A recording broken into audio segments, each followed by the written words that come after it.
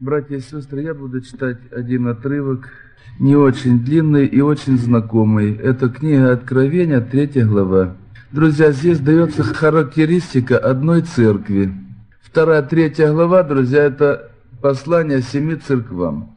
И вот я одну церковь прочитаю, послание к одной церкви, друзья, а мы вместе порассуждаем.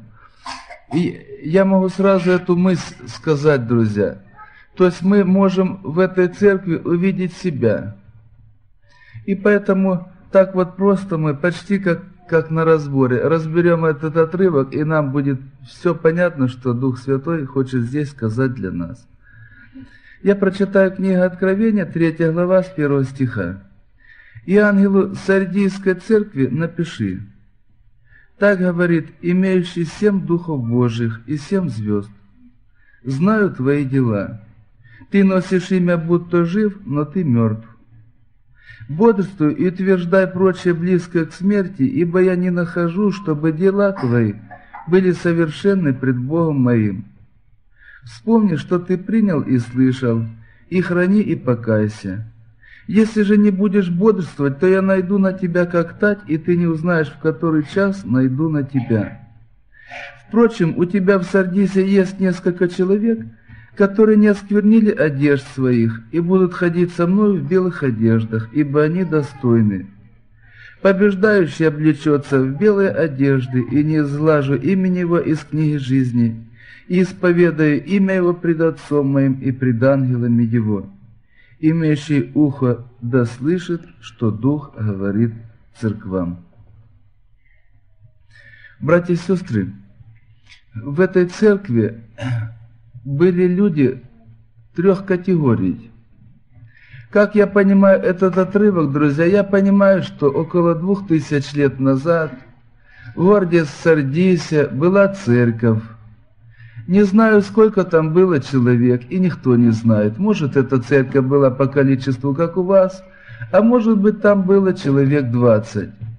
Но известно только то, что в этой церкви были люди трех категорий. Я, друзья, склонен думать, что и сегодня в любой церкви есть люди этих же категорий. Если эта церковь достаточно большая, может в церкви, скажем, 3-4 человека, и поэтому там трех категорий не насчитаемся. Но обычно, друзья, так бывает. На что я хочу прежде всего обратить внимание, друзья, это то, что вот прослушав этот отрывок, мы можем уже наперед, даже без участия проповедника, предвидеть, о каких категориях здесь идет речь. И правильно, если мы, когда в собрание приходим, то Библию слушаем, проповеди слушаем, стихи и пение, и мы проверяем себя. А какова моя жизнь? Потому что есть люди, которые Библию читают или проповеди слушают и не вникают в себя. На кого они похожи, братья и сестры? В Библии написано, на кого похожи. На человека, который посмотрел в зеркало, рассмотрел черты своего лица, отошел и тотчас забыл, какой он. Друзья, ну как этот отрывок понять, я понимаю так. Вот я в зеркало на себя посмотрел и обнаружил на себе какие-то недостатки, но я их не исправил. Есть верующие, которые Библию читают и видят недостатки свои, но они их не исправляют. То есть их жизнь настоящая устраивает, и им не хочется что-то в себе поправить. Похоже, что эти люди не очень готовятся к встрече с Богом. Возможно, они не верят в то, что восхищение церкви будет скоро, или не верят в то, что их жизнь может неожиданно закончиться. Друзья, вот здесь в первом стихе написано так. «Знаю твои дела». Бог знает наши дела. Вот мы сегодня слушали проповедь, что око мое над тобою. Друзья, мне думается, что если бы мы осознавали на каждую секунду нашей жизни, что Божий глаз над нами, и все, что мы не делаем, Он видит. Мне кажется, мы бы меньше делали плохих поступков. А если бы мы знали, что Бог в любую секунду слышит все, что я говорю – или даже все, что я думаю, Бог знает, то я думаю, что наша жизнь в целом была бы чище. Знаю дела твои. Друзья, вот мы друг за друга мало знаем, потому что мы жизнь друг друга не так хорошо видим. Мы друг друга видим только в собрании и делаем оценку по тому, как мы ведем вот в обществе. Друзья, а Бог знает те дела, которые не знает никто. Кто-то сказал, что у человека есть четыре лица. Первое лицо – это то лицо, которое мы видим при встрече. Ну вот, например, я посетил вашу церковь, вы не знаете, кто я такой. Ну, в смысле, может быть, кто-то и знает мое имя, но какой я человек, плохой или хороший, вряд ли вы знаете. Вы можете предполагать, что я неплохой человек, потому что попал за кафедру. Но на самом деле, может быть, не совсем так. И вот так мы, бывает, встретимся с человеком первый раз или второй и делаем человеку ту или другую оценку. Это мы видим первое лицо в человеке. Второе лицо у человека – это то лицо, которое мы увидим, когда мы с человеком долго поживем. Как в русской пословице «пуд соли съесть надо, чтобы узнать человека, какой он есть». И я так, друзья, точно представляю, и в практике жизни такое сам испытывал. У меня о некоторых людях были впечатления одни, ну, например, плохие или хорошие. А потом, когда я с этими людьми был долгое время, и в какой-то работе участвовал, в каком-то труде или служении, или даже в быту мы долго жили, то я начинал видеть второе лицо этих людей – и мои впечатления первые менялись и менялись иногда, ну, абсолютно на противоположный взгляд. Братья и сестры, так бывает. Ну вот, например, второе лицо мое видит моя жена. Вы видите мое первое лицо, второе вы пока не видите. А мое второе лицо видит моя жена, потому что мы с ней прожили 22 года. Наверное, она уже меня знает достаточно хорошо. Братья и сестры, Третье лицо – это то лицо, которое не видит даже моя жена. Это лицо вижу я сам. Самый близкий мой человек не знает меня так, как я знаю себя. И так точно и вы, друзья. У нас есть очень близкие люди, с кем мы живем, которые видят, когда мы встаем, когда мы ложимся, которые всегда видят нас за столом, которые могут предвидеть даже образ нашего мышления – Друзья, и все равно то лицо, которое я вижу в себе, никто видеть не может, кроме меня. Друзья, и четвертое лицо – это то лицо, которое видит Бог. Я думаю, что я себе могу выносить неправильную оценку. Я могу себя знать одним человеком и думать, что я действительно такой, но Бог обо мне будет, может думать совсем по-другому. Друзья, как вы думаете, она с вами кто точнее знает, мы или Бог? Бог знает точнее. Вот был один человек, он жил в городе Ладикии. Он о себе говорил так. «Я богат, разбогател и ни в чем не имею нужды». Этот человек, друзья, я понимаю, что он искренне за себя так думал, что у него все хорошо, у него все в порядке. Друзья, а Бог его видел совсем другим совсем другим. Бог говорит, но ты не знаешь, что ты несчастен, и жалок, и нищ, и слеп, и наг. Я представляю, друзья, что этот человек, когда читал это послание, он удивлялся. Да нет, это совсем не так, это, наверное, ошибочный взгляд. Братья и сестры, это у меня бывает ошибочный взгляд. В отношении себя или в отношении вас. И у вас тоже. Друзья, у Бога ошибочного взгляда нет. Он видит меня так, как я таким, каким я на самом деле являюсь.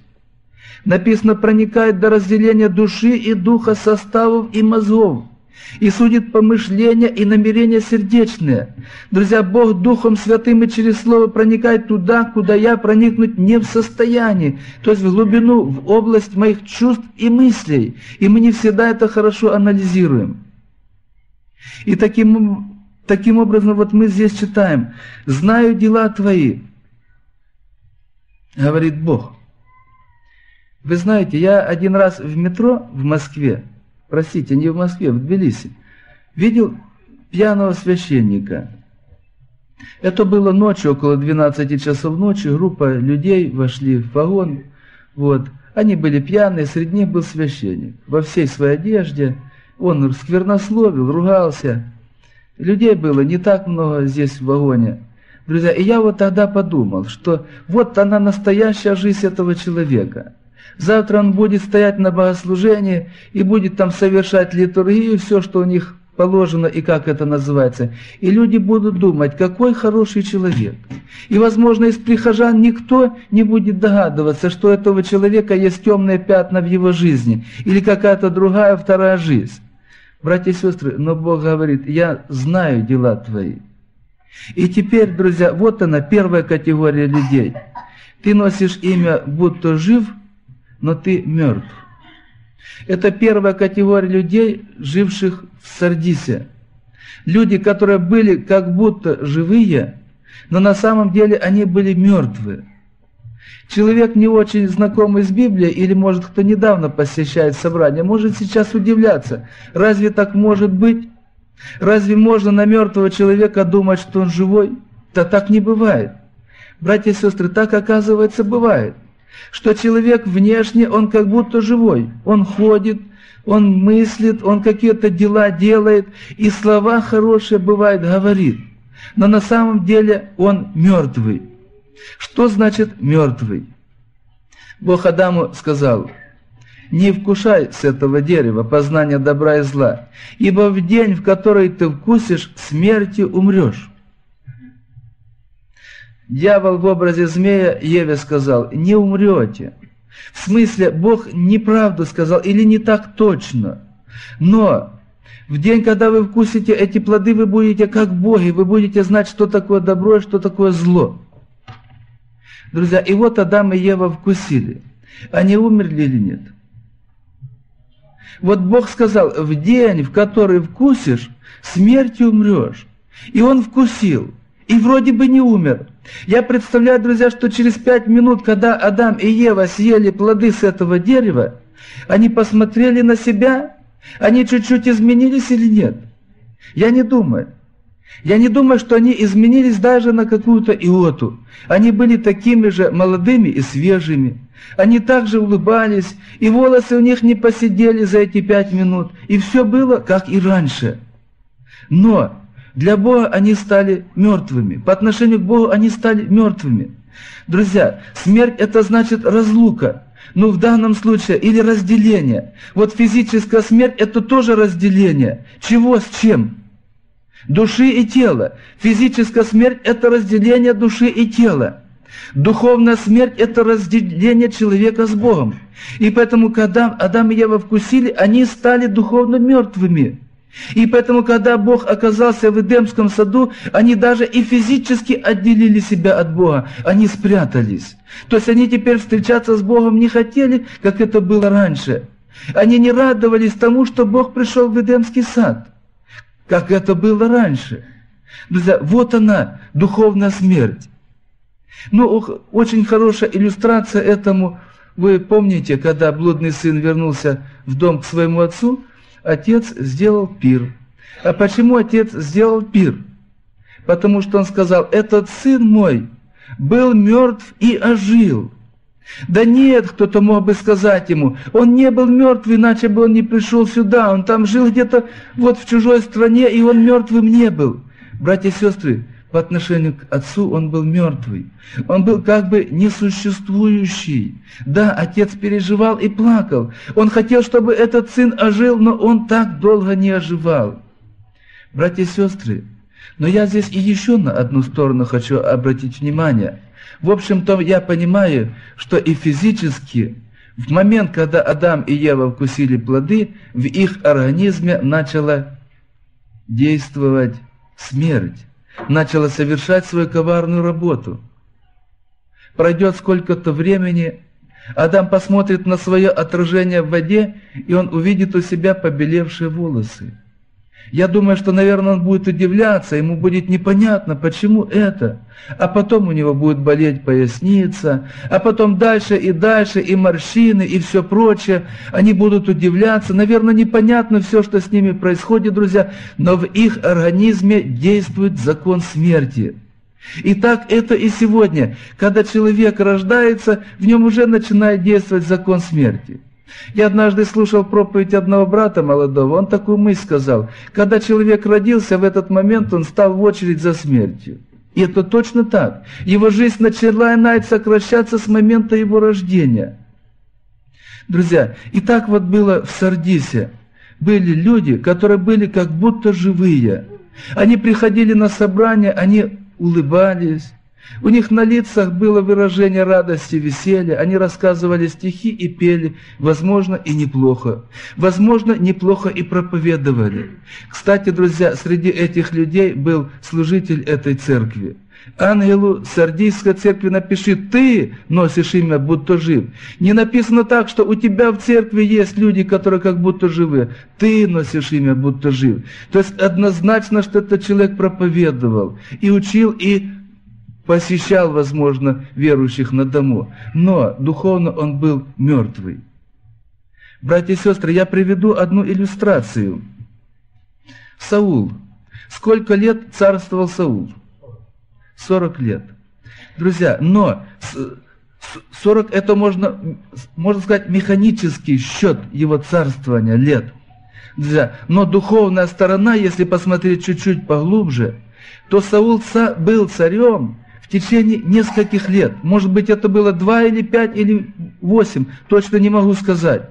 Ну что это значит, друзья?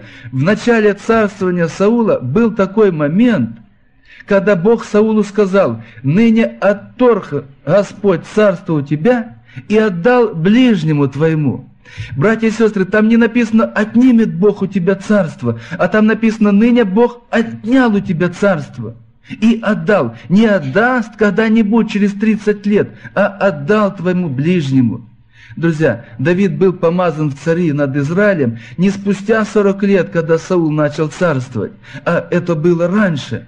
Давид был помазан в цари над Израилем.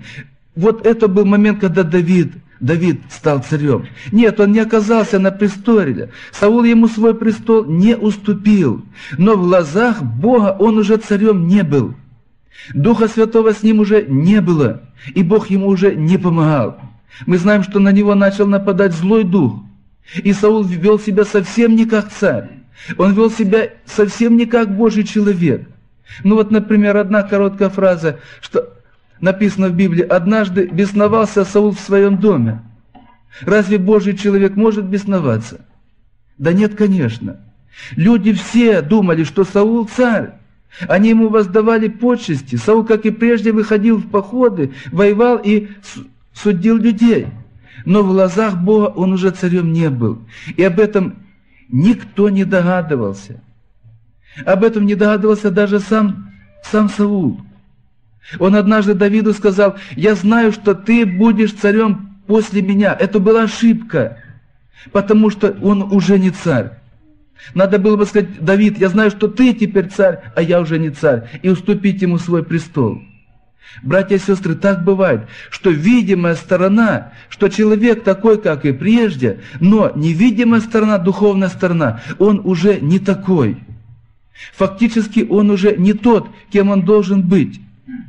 Как и Павел Коринфянам пишет, разве только вы не то, чем должны быть? Друзья, когда я был маленький, произошел такой один случай. Мне было, наверное, тогда 5 или 6 лет, но я очень хорошо помню этот случай. У нас во дворе росло дерево, абрикос, достаточно большой. И вот однажды весной отец срезал одну большую ветку, которая, ну, мешала немножко на, в окно, вот э, стекла э, касалось. И отец срезал ветку. Утром мы выходим во двор, и срезанная ветка зацвела. Зацвела очень красивыми розовыми цветами. Срезано, дерево не зацвело. Я, я до сих пор, я не ботаник и даже огородник слабый. Друзья, я не знаю почему. Дерево не зацвело, а срезана ветка зацвела. Мама почему-то заплакала. Я не понимал, ну что плачет мама, ветка, жалкая ветка, подумаешь, Друзья, это уже потом, когда взрослым стал, я начал понимать, что, видимо, у мамы были мысли какие-то, такие вот серьезные переживания, поэтому и плакала. И я представляю, что в жизни христианской тоже бывает так, что человек, он срезанный уже, но он цветет. Ну, цветет в смысле, он что-то пытается делать, иногда и даже успешно. Но, Как вы думаете, друзья, эта ветка плоды принести могла или, не, или уже бы не принесла? А если бы мы ее, скажем так, вот, ну, удобрили в навоз, вот так ровненько поставили, как дерево, и поливали бы каждый день, неужели не принесла бы? Друзья, она бы уже плоды никогда не принесла. Самых лучших специалистов соберите. Эта ветка уже никогда не принесет плоды при всем самом идеальном уходе за ней. Это так, как знаете, наверное, каждый из нас когда-то в юности или в детстве веточки в стаканчик ставил зимой на подоконник. Набухали почки, иногда цветочки появлялись, но никто никогда не ел плодов из стакана. Друзья, так жизнь устроена, и духовная жизнь тоже. Поэтому, друзья, мы сегодня должны проверять, а как моя жизнь? А какую оценку сегодня делает мне Бог? Как проверить, жив я или не жив? У нас один брат работал на асфальтобетонном заводе, и случилось так, что там транспортер был, который камни подавал, и вот там э, буксовать лента начала. И он взял кусок битума и решил э, вал смазать, чтобы э, он стал большим трением обладать. И его руку захватила лента, крутанула и дернула, и перервала в плече нерв. Друзья, он пришел с работы, Рука была, как обычно, не, поранил, не пораненная, и внешний вид тот же самый. Но она была без чувств. Она у него не работала. Внешне она была точно такая, как и левая. Но взять иголку или гвоздик, и можно было втыкать в эту руку, никаких признаков, что она живая, уже не было.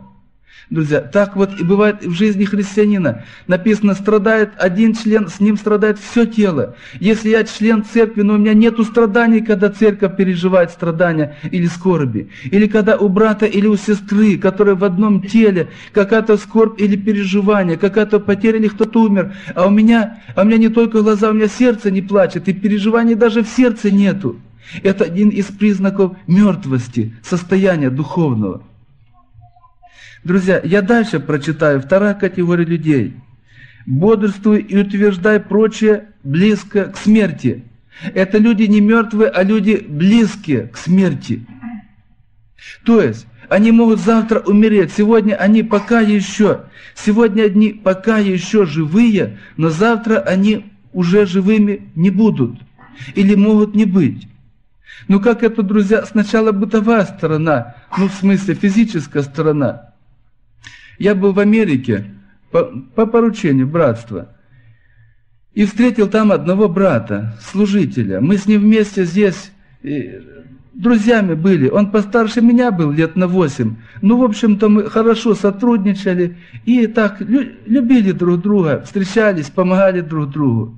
А потом он оказался в Америке, и вот я с ним там встретился. Вы знаете, друзья, как он сильно радовался встрече нашей. Он говорит, ты знаешь, так здорово, что ты приехал. Я даже молился, чтобы ты приехал. Мне так с тобой поговорить хочется. И вот мы несколько времени с ним имели общение, беседовали. И так вот он радовался, когда я уезжал, он мне ну, подарок маленький сделал, блокнот с ручкой подарил. Говорит, хочу, чтобы ты меня помнил. Я, говорит, хочу в Россию приехать. Он сильно жалел, что уехал в Америку, очень сильно жалел.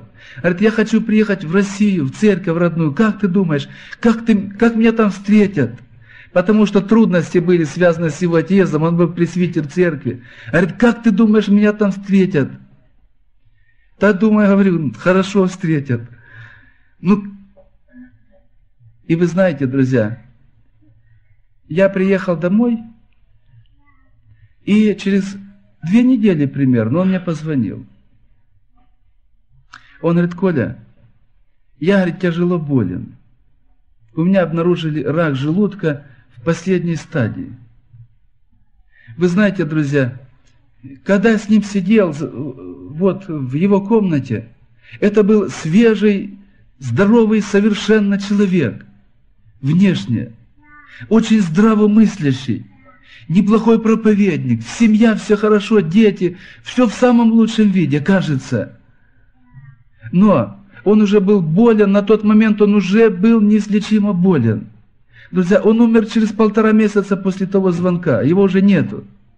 Но я Настолько удивлялся, мне казалось, так быстро, но не должно так быстро быть. Кажется, ну лет восемь, пять, это еще можно понять. Но так быстро, свежий, здоровый человек, и вот его уже нету. Близость к смерти. Близость к смерти, когда в организме уже действует закон смерти. А иногда закон греха и смерти, если говорить о духовных вопросах. Друзья, близость смерти может обуславливать наше местонахождение. Но как это может быть? Физически, потом духовно. Однажды мы решили купить для церкви вагон. Обычный железнодорожный металлический вагон с крышей. Под склад для литературы. И вот договорились на железнодорожной станции, все, заплатили деньги.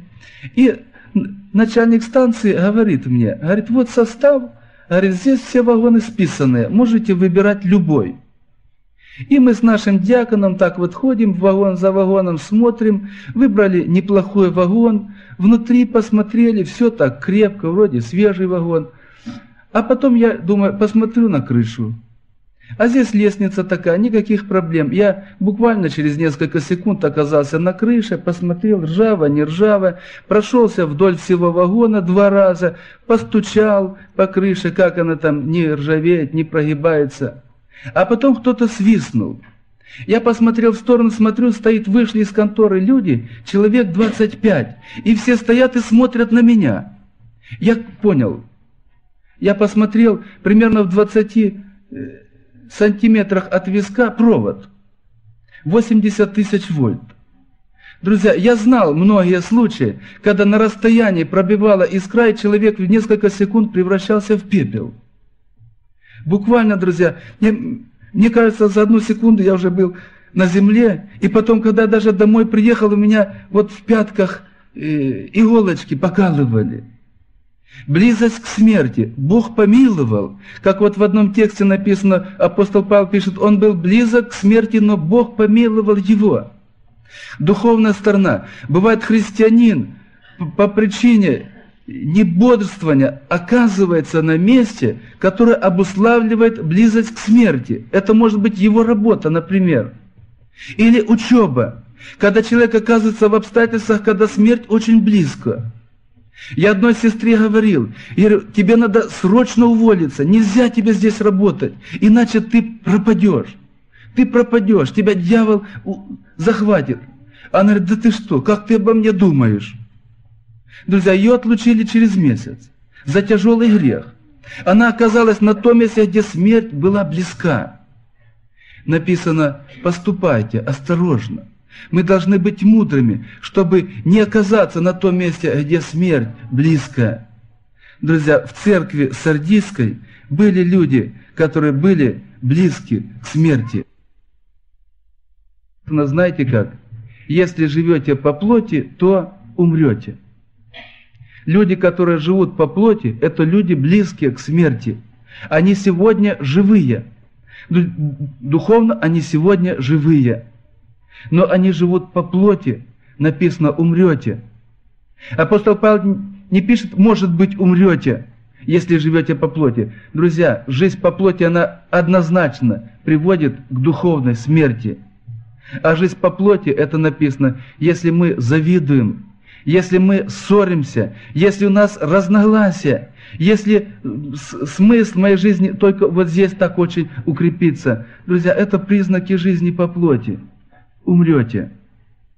И третья категория людей, здесь написано так. Впрочем, у тебя в Сардисе есть несколько человек, которые не осквернили одежд своих. Друзья, это третья категория людей. Это люди, которые не осквернили своих одежд.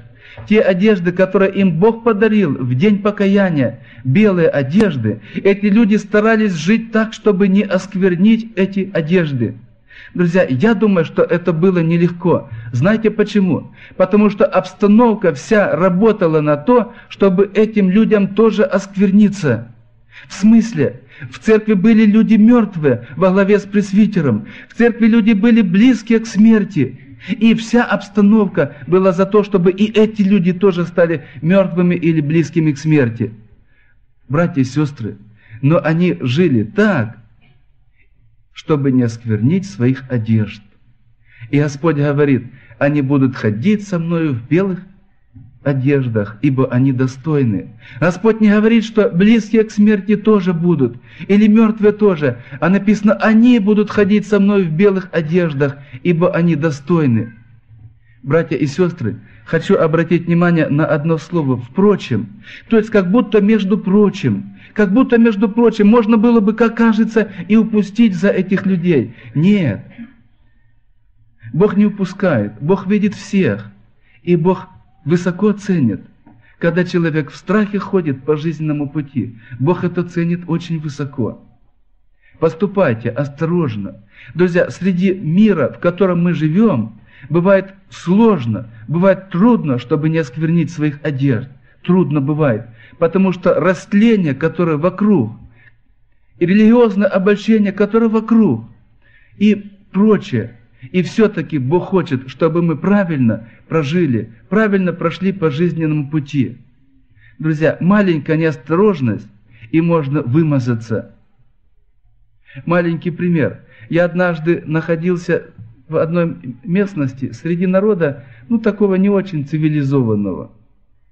И поскольку нам там немножко долго нужно было быть, то в какой-то момент мы решили искупаться. Нам предложили в баню сходить. Такая частная баня. Мы в баню пришли, я сразу, конечно, не понял, что это за баня, а мне сказали, это черная баня. Но черная баня, она и внешне черная, и оказывается по способу вот, э, работы она тоже черная. В смысле дым кругом идет, и все покры, покрыто сажей. И вы знаете, друзья, ну я, ну понятно, что мы искупались такие чистенькие, и потом выходим, у меня одна мысль, что надо выйти с этой бани, чтобы не вымазаться. И я так себя вел осторожно, так себя вел осторожно, и у меня не получилось. Когда рубашку одевал, зацепил за потолок, и рубашка в саже моя была. Друзья, я представляю, что вот духовно, примерно в такой обстановке мы живем. И все-таки мы должны жить так, чтобы не осквернить своих одежд. Потому что наши белые одежды – это Божий подарок. Это Божий подарок. На одном молодежном общении был негр. И вот этот негр попросил слова. Ему дали 10 минут. Он вышел, ну он просто песню спеть хотел. И он так на плохом русском говорит, братья и сестры, посмотрите на меня, какой я черный. А он, правда, черный, вот бывает негры не очень черные, а бывают сильно черные, как смола. Он, посмотрите на меня, какой я черный. Раньше у меня сердце было такое же черное, но Бог его очистил, и она стала белая, как снег. А вы знаете, друзья, а я подумал, даже не белая, как снег, а написано белее снег. Белее снег. То есть, вот как я перед отъездом сюда с детьми читал историю э, преображения. А потом все мои дети должны были высказать какую-то мысль по этой истории. И вот один ребенок говорит, что Бог одежды человека так очищает, как на земле не может никто. И хорошо сказал, как на земле белильщик не может выбелить. Друзья, вот такой чистоты, которую Бог дает при покаянии, человек достичь не может. Это может только Бог. И усилия многих людей не могут достичь такой чистоты. Это может только Бог. Это Божий подарок. И вот эти одежды, которые Бог нам подарил в день искупления, мы не должны запачкать. Дорогие друзья, вот мы сейчас с вами рассмотрели, рассмотрели э, историю церкви. Три категории людей. К какой категории отношусь я? Думаю, каждый может сделать вывод. Может быть правильный, а может ошибочный. Друзья, мы сейчас с вами помолимся. И вот какие мысли есть в сердце каждого, вот это мы Богу и скажем – я только думаю, что если кто-то думает, наверное, я близкий к смерти, а может быть уже и, и похуже, я скажу, друзья, это еще не тупик, потому что есть у нас Бог, который может ситуацию поправить. Как тот блудный сын пришел в дом отца, не рассчитывая на то, что он теперь сыном будет, рассчитывая только на наемническое место в доме своего отца. Отец ему одевает другие одежды и говорит, этот сын мой был мертв и ожил, пропадал и нашелся, и радость была великая. Так и сегодня, если кто-то покается, и радость будет еще больше, чем в той притче о блудном сыне. Возможно, в нашем собрании есть человек, который еще никогда не каялся. А может быть, каялся, но снова стал мирским, в смысле без Бога, а это значит мертвым. То, если ты сегодня покаешься, то о тебе, о тебе Бог тоже скажет, что этот сын мой был мертв и ожил, пропадал и нашелся, и начали веселиться. Пусть Бог благословит нас. Аминь.